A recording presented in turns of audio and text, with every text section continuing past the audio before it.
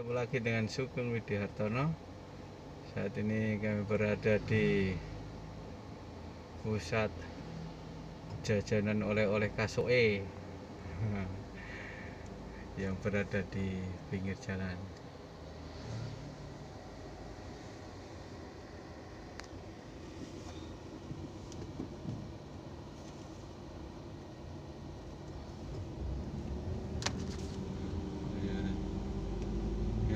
Ada pisang, lemon, ada ubi,